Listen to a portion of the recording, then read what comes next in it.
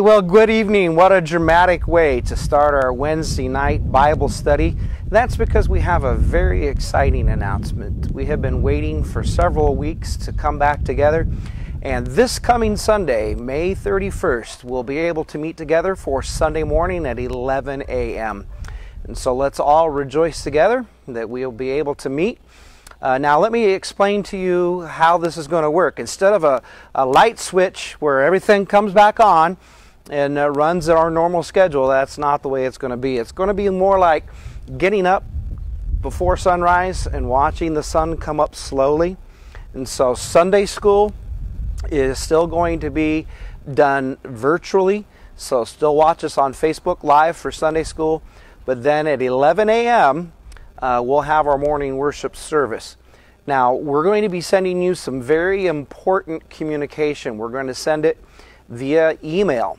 We will hard mail a copy to you in the mail so it should arrive in your home before Saturday. We will also post it on our church website. These are the protocols that we have to follow uh, as we come back together. So you cannot miss that out. And what we're requesting is an RSVP so that we'll know how to set up the auditorium. Now, some of you can probably see I've got a bright little yellow uh, tape measure here on my hip. And what we've done today is we've gone inside and we measured out the auditorium because the state guidelines say only 25% capacity of what your auditorium can hold. So for us, uh, that turns out to be 60 seats. Um, and so before all of this started, some Sundays we were close to 80, uh, sometimes 85 people. And um, so that's a few extra people then that will have to go over to our high school uh, room, and that room will be able to seat 30. So between those two rooms, we'll be able to fit everybody in on Sunday morning. And uh, so there will be no children's church, and there won't be a nursery and uh, we will have to social distance and we'll have to wear a face mask social distance in the parking lot when you come in try to leave a space between you and the person that is parked a space away from you and uh, so lord willing we'll see you sunday morning at 11 a.m the buildings are being cleaned and we're preparing for that service so we'll see you then now we're going to do a little bit more informal tonight so the camera is going to stay live but uh, it may bump around and you may get to see what pastor's office looks like uh, before I actually sit down in the chair. So stay with us. Give us about 30 seconds to make the transition. Here we go.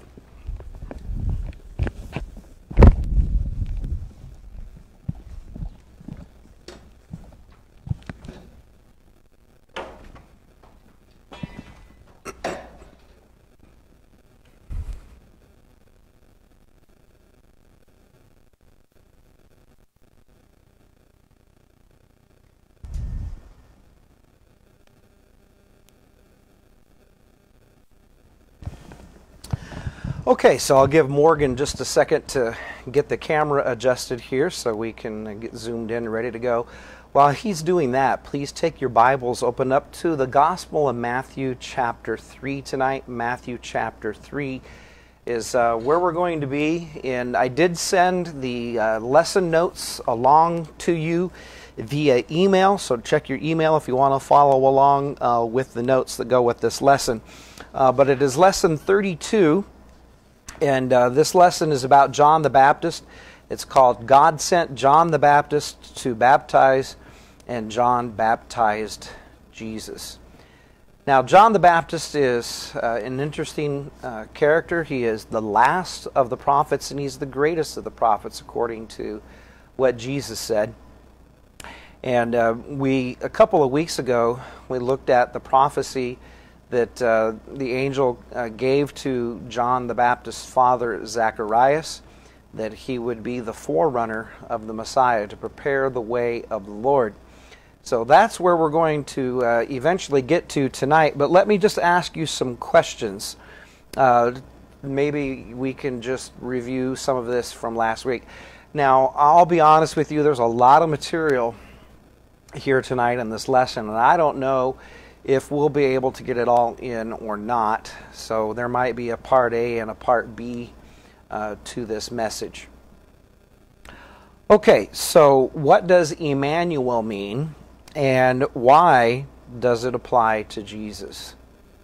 Emmanuel means God with us, and that's it applies to Jesus because Jesus is God who came to earth to be born and live as a man amongst us. Uh, which Old Testament prophet prophesied that uh, Jesus would be born in the city of David? Do you remember? And what is the name of that city? All right, it's the Old Testament prophet Micah in the city of Bethlehem. Um, and then Mary asked Jesus at the end of last week's lesson. I'm not sure if I covered this or not, so um, maybe just saying it now is going to be something new. But uh, Mary and uh, Joseph had lost Jesus uh, at the end of the Passover, and they had to go back to the city of Jerusalem to find him. And they found him in the temple having a discussion with the religious teachers of his day, and they were all amazed at his wisdom. I know I covered that part, but Mary asked Jesus, uh, Why did you scare your uh, mother and Joseph this way? And Jesus said, Did you not know that I must be about my Father's business? Meaning that he knew that he was the Son of God and that his Father had sent him here on a mission. All right, so let's jump in here tonight. Uh, Matthew chapter 3. Um, we're going to look here at the teachings of John the Baptist. And in those days came John the Baptist um, preaching in the wilderness of Judea. And I need my glasses, and that's why I left them on my shirt so I wouldn't forget them. Ah, this helps. Saying, Repent ye, for the kingdom of heaven is at hand. For this is he that was spoken of by the prophet Isaiah, saying, the voice of one crying in the wilderness, Prepare ye the way of the Lord, make his paths straight. So, not one were there only prophecies concerning Jesus as the deliverer or the Messiah, there was a prophecy concerning his forerunner, John the Baptist. And so the quote here says, as the prophet Isaiah said. So I would like to read that quote to you from the Old Testament. Now, the amazing thing about this is Isaiah lived in the 8th century before Christ, so 700 years before Christ. In Isaiah chapter 40, verse 3, this is going to be the mission of John the Baptist. The voice of him that crieth in the wilderness, Prepare ye the way of the Lord, make straight in the desert a highway for our God. So this is the ministry that John would have is to prepare the hearts of the people for the coming deliverer. So he would announce him, he would introduce Jesus as the deliverer to the nation of Israel. So John uh, believed God. That was uh, his message. Prepare ye the way of the Lord, make his paths straight. John put himself uh, and identified himself with all people that he was a sinner and needed God to send his deliverer to him. And so John believed God. And so John the Baptist had grown into manhood, and it was time for him to begin his ministry. And so uh, this is found here in Matthew chapter 3, verses uh, 1 through 11. But now notice with me in verse 2, uh, it says here, John uh, came preaching, saying, Repent ye, for the kingdom of heaven is at hand. Uh, what is repentance? Some people think that repentance is making a promise that you'll try to stop sinning and leave your sins behind. But that is not repentance. Biblical repentance is a change of mind about what you think about yourself, and you take God's side and recognize or acknowledge that you're a sinner and that you cannot save yourself, and that what God has been saying is holy and just and true, and that you will uh, recant or repent of your own thinking and believe what God says about you, that you're a sinner and you cannot save yourself, and you will trust uh, in God uh, for your salvation, for the forgiveness of your sins. And that is what repentance is about. So, John came preaching a message of repentance, an attitude uh, that one has about himself toward God, uh, that he's the only true God and uh, that we can only serve and worship Him alone. And uh, so this is repentance. Uh, that they needed to change. They needed to realize that they had sinned against God by disobeying His laws, and they were unable to make themselves acceptable to God. And so, this is why He's saying, Repent ye, for the kingdom of heaven is at hand. And so, this attitude about sin is what leads to a change. They need to acknowledge their sin was against God, and that since He hates sin, they will deserve His judgment. Now, over here, I have a visual in the background that Morgan's going to zoom in on here. It's the bottom one. Uh, the definition of repentance. Uh, repentance here is uh, to repent is to agree with God about Himself, about ourselves, about our sin. So God is holy, we are not, and uh, that we need to return to, to the Lord. All right, so thank you, Morgan, for zooming in on that. Now let's uh, continue here. So every one of us should agree with God concerning these same truths that God alone is God, and that He is true, and every man is a liar, and we are to worship Him alone, and that we cannot make ourselves acceptable to God. And uh, because God is holy, He hates sin and He cannot overlook our sin. He will never accept even our most sincere efforts to do the right thing. We deserve God's punishment. So, John was the one uh, that the prophet Isaiah said would precede the promised deliverer. Now, in uh, Matthew chapter 3, verse 3, I'm going to read to us for a description of uh, John. So the prophet said, This is he who will cry in the wilderness, Prepare ye the way of the Lord and make his paths straight. Now listen to how uh, this guy is dressed. Okay? And this same John had his raiment of camel's hair and a leathern girdle about his loins, and his food was locusts and wild honey. So he went to the finest tailors uh, on Fifth Avenue on the Upper East Side in New York City and had his custom Italian suit uh, fitted for him uh, with the gold cufflinks. And, uh, and he went then to the finest five star Michelin uh, restaurant to, to have his dinners. Okay? No. Okay? John the Baptist is a very poor man he has poor man's clothes. Uh, the, the the leather really here of, of camel's uh, skin, okay, uh, camel's hair, and a leather girdle about his loins. So he just a simple uh, one-piece garment with a leather belt around him, and his food was locusts and wild honeys. Um, so I, I don't know. Honey's a pretty good thing. But I just don't think I'm quite into the protein diet of wild locusts. I mean, you can even cover them in chocolate, and I'm probably not going to go for it if you tell me what's underneath of it, okay? And so, you know, we, we have such a misconception today that God will save us and make us rich and make us wealthy.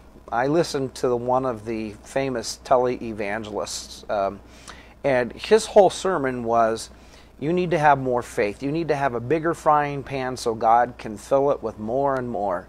And if you just have faith to have a bigger frying pan, then God will just keep increasing the size of your frying pan and keep filling it. And it's like as God is a cosmic bellboy, we ring the bell and God comes running to make us healthy, wealthy, and prosperous.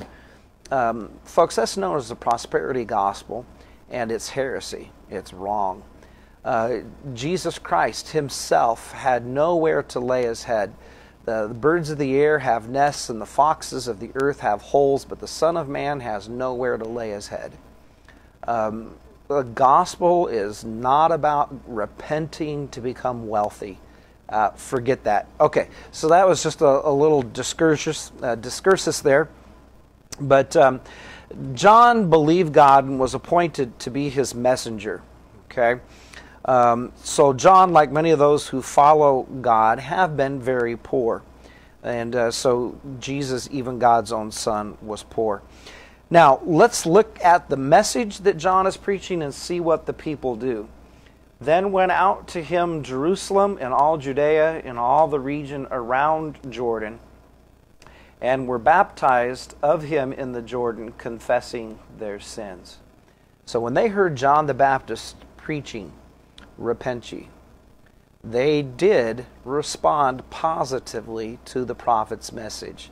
They acknowledged that they were sinners, that they could not save themselves. They changed their mind about themselves, about God, and their own sins. They agreed that they could not save themselves, and they depended then upon the coming deliverer to save them from their sins. And so John's ministry is to introduce the deliverer to them. And so he's preparing the people's hearts so that when they see Jesus, they'll recognize him as Messiah. They will uh, listen to him and listen to his preaching. So the people were repenting, and then they were following that repentance up with an evidence or a symbol of their repentance. Well, what is that?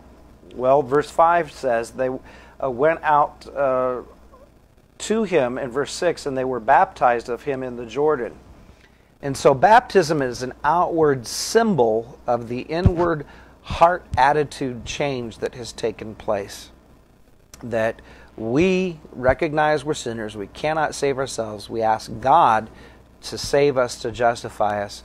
And then in doing that, then we can be baptized. But water baptism without repentance, that's just getting wet. All right? It doesn't do any good. Uh, why does baptism not do any good? Why can't baptism save us? You know, there are some churches that teach that baptism saves. And that's called baptismal regeneration, that you're regenerated or made new in God's sight through water baptism.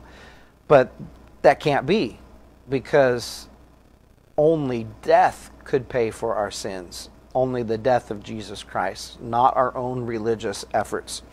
And so many of the Jews repented that when they heard what John had told them. And John told them then to show that repentance and be baptized. So they demonstrated that they had accepted John's message of repentance. And so baptism in itself didn't make them acceptable to God. And it doesn't make anybody acceptable to God.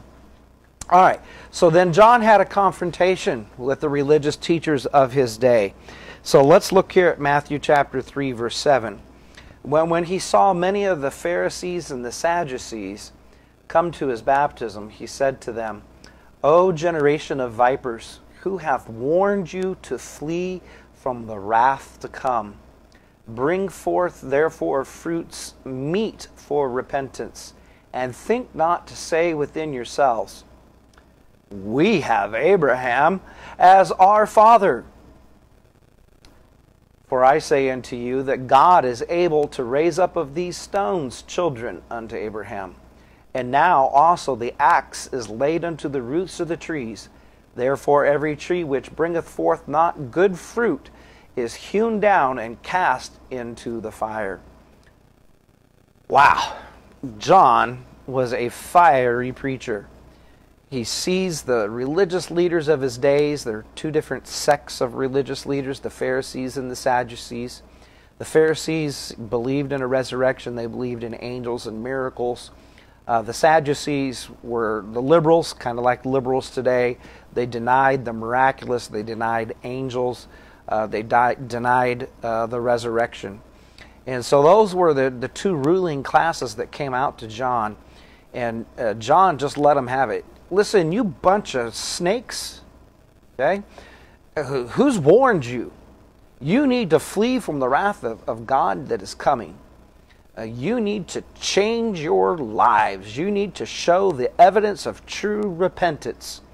And uh, so he says, Bring forth fruit that is meet for repentance. The word meet means that is fitting or becoming of repentance. Have the demonstration of a changed life. And so John addressed the proud, unrepentant religious leaders of his day. And so the Pharisees and the Sadducees were very proud, but John rebuked them. And so uh, he rebuked them all. All right.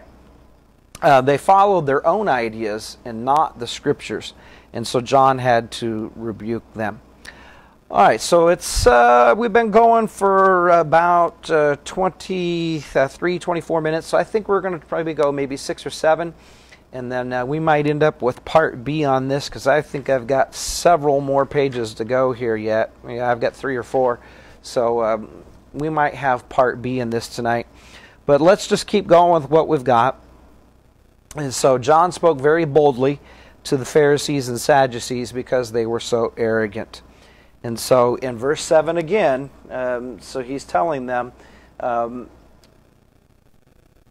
O generation of viper, who has warned you to flee from the wrath to come. So God is against the proud and he helps the humble. James uh, tells us in his epistle that God resists the proud but gives grace unto the humble. Uh, you remember some people that had stubborn pride in the Old Testament? Uh, Pharaoh, king of Egypt, was stubborn and proud, and God resisted him and, and brought him down. Um, and so God asked the question to Pharaoh, How long will you refuse to humble yourself uh, before me? And so God resists self righteous, arrogant people. And so, but it says this, but he gives grace to the humble. If we will humble ourselves and, and agree with God that we're sinners and take God's side, that what he's been saying is holy, perfect, true, and just, and then agree about our sins and call on God, then He will forgive us of our sins because He gives grace to the humble. Grace is God's undeserved favor. You see, there, there's a difference here with this word grace. There, there is a false religious cult out there that in their book says, For by grace are you saved after all you have done. So imagine a, a bar uh, chart here and in their column shade in maybe 7% shade in 27% shade in 77% of self-effort self-righteousness and whatever you fall short then god just makes up the difference all right? That's their definition of grace. God's definition of grace in the holy word of god is ephesians 2 8 and 9 for by grace are you saved through faith and that not of yourselves. Zero effort. It is the gift of God, not as a result of works. This other bar chart over here, okay? Not as a result of works, lest anyone should boast. For by grace are you saved through faith, and that not of yourselves, it is the gift of God. So grace is God's unmerited favor. It's not earned or deserved in any way. Now, John told the Pharisees and Sadducees that if they repented and believed God, it would be evidenced in a change in how they lived. Now, sometimes when somebody truly has repented and put their faith and trust in Jesus, people will say, Oh, so and so got religion, and he won't come to the bar anymore. She won't go out to uh, clubbing anymore, okay? Or they're not doing drugs anymore. And so they know that their life has changed and they attribute that to finding religion, but what they really entered into is a repentance towards God that resulted in salvation from Jesus through faith. And it changed their life. And one of the, of course, the biggest criticisms that uh, religious people have is the hypocrisy. And even the world knows that repentance should bring forth the change. It should have some evidence. And this is what John is telling the Pharisees and the Sadducees. And um, they were really proud that they were descendants of Abraham. And so they were, they were counting on their, um, I guess, their religious pedigree. Okay? And they were saying, well, we were born okay with God because we've got Abraham as our father. Uh, that's like some people saying, well, I was born a Christian, I was baptized as a baby, and as far as I can remember, my family has always been Christian. Uh, that doesn't cut it with God. Okay? And so this is what the Pharisees and Sadducees were trying to use with John the Baptist.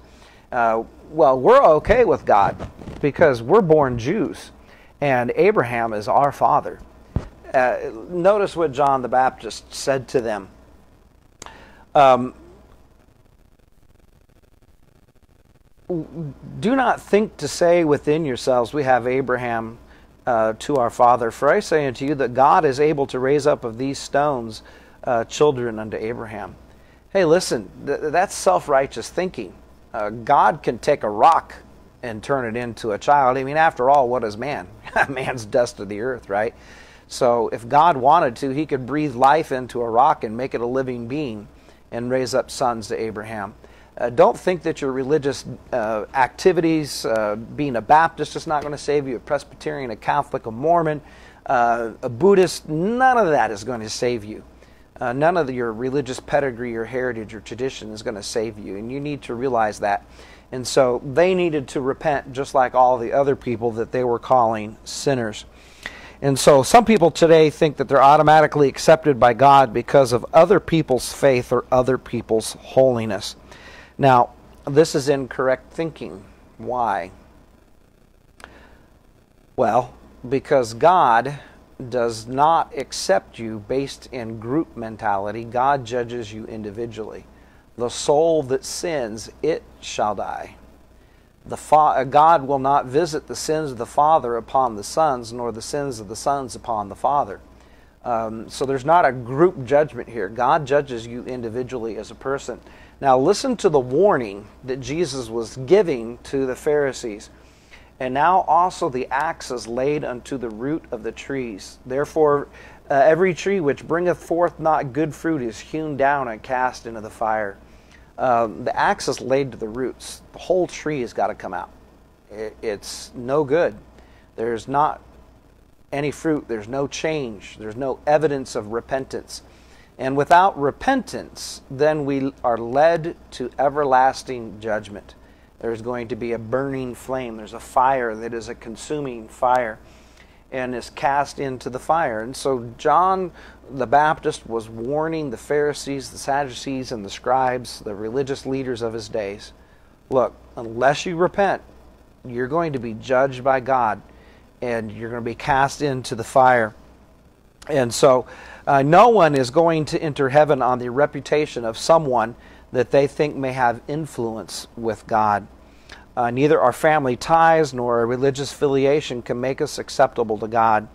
And so instead of these things, um, who uh, or what does God say that He will judge us by? And so with that, we'll end with that question. We'll come back next week with part two. All right, please remember uh, to do this for me tonight. Hey, would you do this? Hit one of the emotion icons in there. Hit the wow face or, you know, the group hug thing in this. We're all in this COVID 19 thing together. Or give me a thumbs up or a smiley face, something like that. Uh, tell me what your favorite Bible story is, and I'll, I'll, tell you why I'm asking you to do this. Uh, this last week, the Sunday night message was shared seven times and uh, that has yielded over a thousand, I think it was 1,200 different views this week. And uh, it's because we took the time to comment and share on it.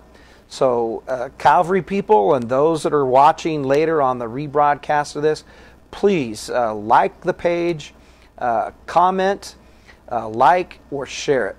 Start a watch party, but get the Word of God out there. We'll see you Sunday school. Sunday at 9:45 and then in person for the morning worship service at 11. God be with you.